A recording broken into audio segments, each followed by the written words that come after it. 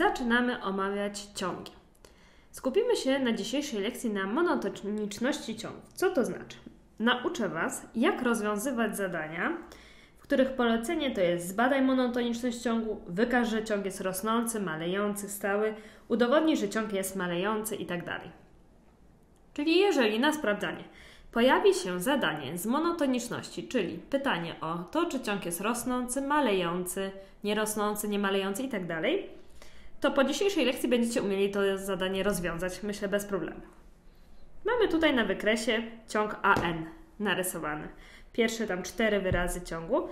I jakbyśmy mieli, gdyby to był, ten ciąg był, składał się tylko z czterech wyrazów, patrzymy na wykres, widzimy, że on jest rosnący. Czyli z wykresu to na pewno nie będzie problemu, żebyście odczytali, czy jest rosnący, czy jest malejący. A co zrobić, gdy nie mamy wykresu, tylko mamy wzór takiego ciągu? To będziemy postępować w takiej kolejności.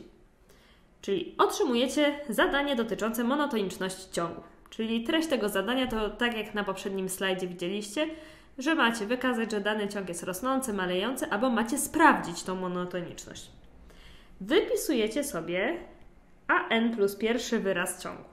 Jak napiszecie ten wyraz, to będziecie chcieli sprawdzić, jaka jest różnica an plus 1 minus an. Dlaczego? Jeżeli ta różnica wyjdzie większa od zera dla każdego n, to znaczy, że ten ciąg jest rosnący. Czyli an plus pierwszy wyraz jest zawsze większy od an, czyli kolejny wyraz jest większy od poprzedniego. Jeśli ta różnica wyjdzie równa 0, to znaczy, że ciąg jest stały, a jeżeli mniejsza od 0, to znaczy, że ciąg jest malejący. Czyli już wiecie, że są ciągi rosnące, malejące, stałe. Ale to nie wszystko. I zrobimy sobie taką ściągę. Badam różnicę an plus 1 minus an. I co może mi wyjść? Może mi wyjść, że to jest zawsze mniejsze od zera. Jeżeli mi wyjdzie, że to jest zawsze mniejsze od zera, to znaczy, że ciąg AN jest malejący. Ale może mi wyjść, że jest mniejsze bądź równe 0. Wtedy powiemy, że ciąg AN jest nierosnący. Jeżeli kolejny wyraz jest większy od, e, od tego poprzedniego, czyli an plus 1 minus an jest większy od zera, to ciąg an jest rosnący. Jeżeli jest większy bądź równy od zera, to ciąg an jest niemalejący.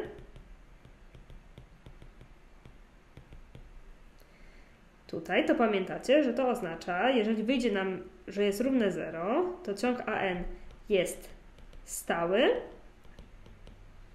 a jeżeli mamy raz większe, raz mniejsze od zera, nie jesteśmy w stanie ustalić, że na przykład jest zawsze większe od zera lub zawsze mniejsze od zera, to wtedy ciąg jest niemonotoniczny. Teraz zobaczmy, jak to wygląda w praktyce. Zbadaj monotoniczność ciągu. Czyli tak, po pierwsze, orientuję się, że to chodzi o to, że mam zbadać różnicę an plus 1 minus an, tak?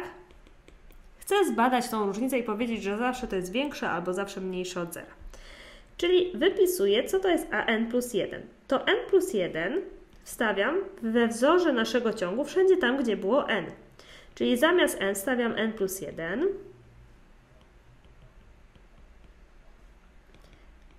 3n plus 3 i plus 2, czyli będzie plus 5, a na dole n plus 5. I teraz badam tą różnicę an plus 1 minus an.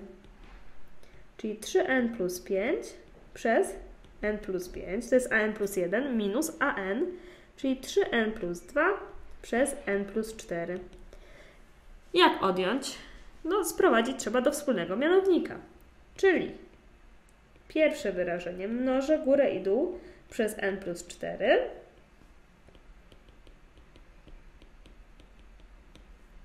a w drugim przez n plus 5.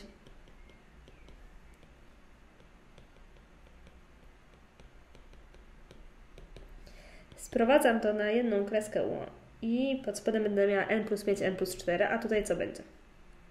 3n kwadrat plus 12n plus 5n plus 20 minus 3n kwadrat. Pamiętajcie, że teraz zmieniam znaki wszędzie, bo miałam minus na początku.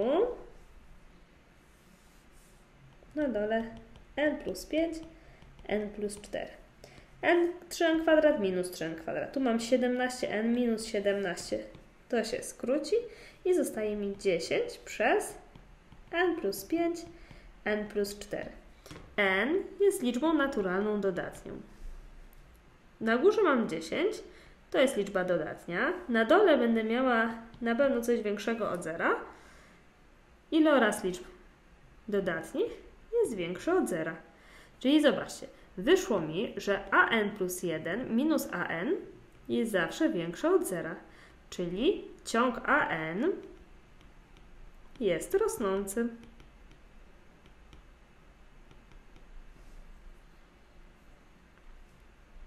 To zobaczmy kolejne przykłady. Takie zadanie jest fajne. Jeżeli macie wykaż, że dany ciąg jest rosnący, bo od razu wiecie, co powinniście otrzymać. Czyli wiecie, że wyjdzie Wam an plus 1 minus an, że jest większe od zera. Czyli jak robimy? Jeżeli macie wykazać, że coś jest ciągiem rosnącym, malejącym i tak dalej, to zawsze będziecie potrzebować an plus 1 minus an. Co to jest an plus 1 w tym przypadku? 1 minus 4. Tam, gdzie było n, wstawiam n plus 1, czyli n plus 1 i jeszcze plus 1.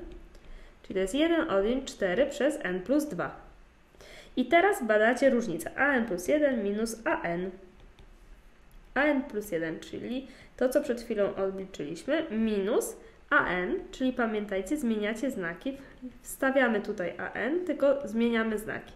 Jedynki się skracają i znowu mam 4 przez n plus 1 minus 4 przez n plus 2. Sprowadzam do wspólnego mianownika, czyli pierwsze mnożę przez n plus 2, to mam n plus 1 razy n plus 2 i w drugim minus 4 tu mnożę przez n plus 1.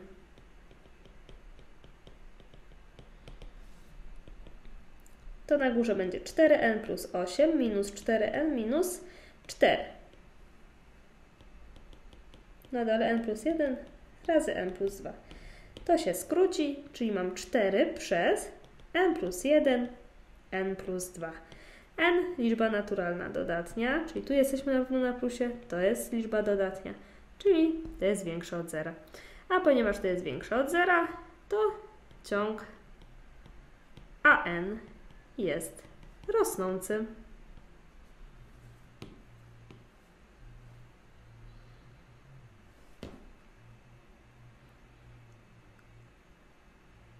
Ok, co teraz robimy? Czyli wiecie już, że badamy an plus 1 minus an. Teraz będziemy robić tak samo jak wcześniej, tylko nie mamy podanego wzoru na ciąg. Ale co wiem? wiemy, że AN jest ciągiem malejącym. To co wiemy? Wiemy, że AN plus 1 minus AN jest mniejsze od zera. Wiemy, że AN jest większe od zera dla każdego n. I mamy zbadać teraz monotoniczność ciągu. Zobaczcie, BN to jest minus 3AN.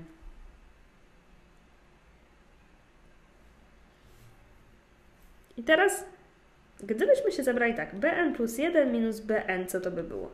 No to jest minus 3 an plus 1 minus bn, czyli plus 3 an. Wyciągniemy minus 3 przed nawias, to zostanie nam an plus 1 minus an. I teraz tutaj wiemy, że to jest coś mniejszego od zera, czyli to jest liczba ujemna. Przemnożymy przez minus 3, to będzie dodatnia.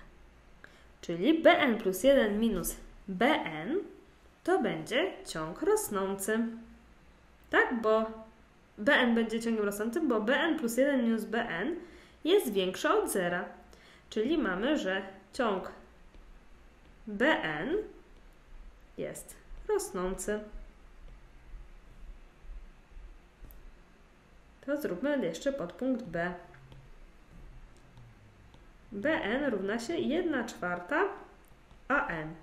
To bn plus 1 to będzie 1 czwarta an plus 1, tak? Czyli bn plus 1 minus bn to będzie 1 czwarta an plus 1 minus 1 czwarta an. To jest 1 czwarta an plus 1 minus an. Tutaj mamy coś mniejszego od zera, bo an był malejący. To jak pomnożymy przez 1 czwartą, to będzie mniejsze od zera. Czyli jeżeli ta różnica, którą liczyliśmy, jest mniejsza od zera, to mamy, że ciąg bn jest malejący.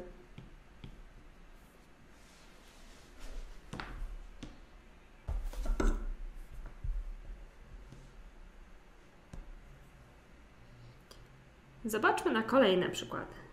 Weźmy ciąg an równa się minus 3 do potęgi n tej. N plus 1 to jest minus 3, w miejsce n wstawiacie n plus 1. I teraz chcemy określić monotoniczność tego ciągu, czyli robię an plus 1 minus an równa się minus 3 do potęgi n plus 1 minus minus, czyli plus 3 do potęgi n tej. Teraz co to jest 3 do potęgi n plus 1? To jest 3 do n tej razy 3 do pierwszej. Czyli mogę to zapisać minus 3 do n tej razy 3 do pierwszej plus 3 do n tej. I teraz wyciągam 3 do n tej przed nawias. To jest minus 3 plus 1, czyli to jest 3 do n tej razy minus 2. I teraz tu mam liczbę dodatnią, tu mam liczbę ujemną i loczyn mniejszy od zera. Czyli an jest ciągiem ciąg malejący. Uwaga! A co by było, gdybyśmy wzięli podobny ciąg, tylko an równa się minus 3 do potęgi n tej. an plus 1 to jest minus 3 do potęgi n plus 1, czyli to jest minus 3 do potęgi n tej razy minus 3.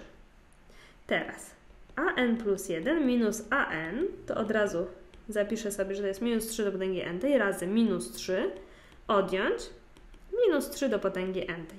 Wyciągnę sobie minus 3 do n tej przed nawias, a tu mam minus 3 minus 1, czyli minus 4.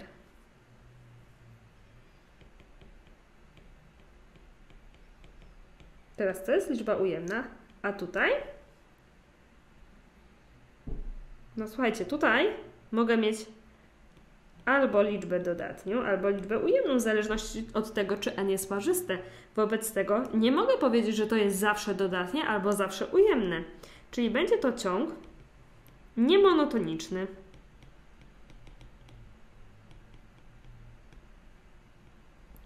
Zobaczcie jeszcze, jak możemy popatrzeć na to. No, A1 to jest minus 3. A2 minus 3 razy minus 3, 9. A3 minus 27 a 4 81. Czyli zobaczcie, tutaj poszliśmy najpierw do góry, później w dół, do góry w dół, czyli raz w górę, raz w dół, czyli ciąg niemonotoniczny.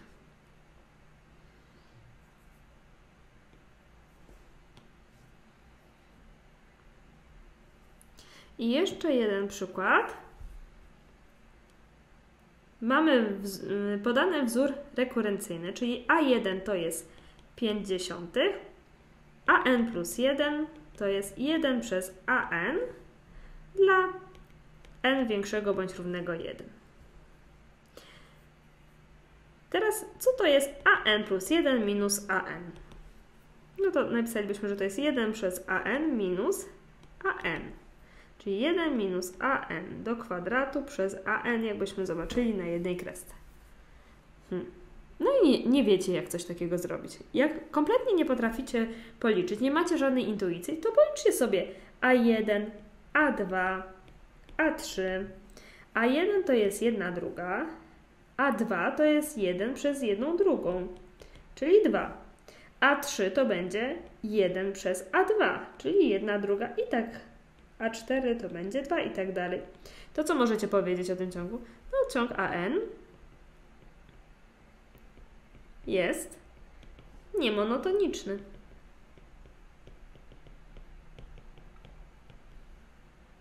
Czyli pokazaliśmy, że A1 było 1 druga, A2 2, czyli poszliśmy do góry, a później w dół wróciliśmy do jednej drugiej, czyli ciąg jest niemonotoniczny.